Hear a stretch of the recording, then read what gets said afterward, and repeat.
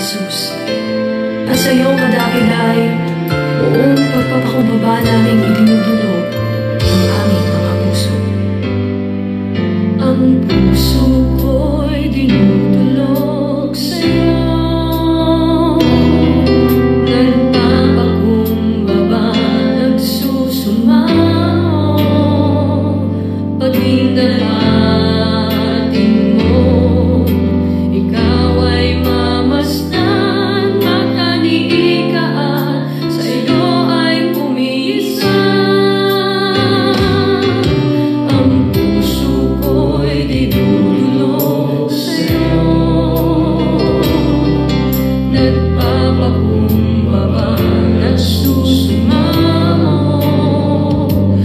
In the